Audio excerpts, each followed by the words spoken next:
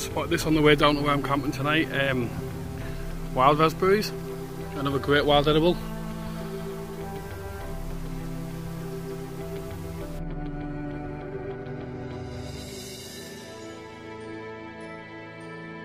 Just look at them. It's absolutely in abundance here. I've seen so many in one place.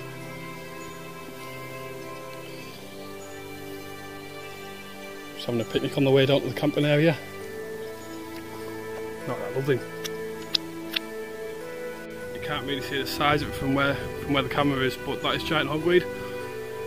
I wish I was on that side, it's taller than me. It's right along the riverbank.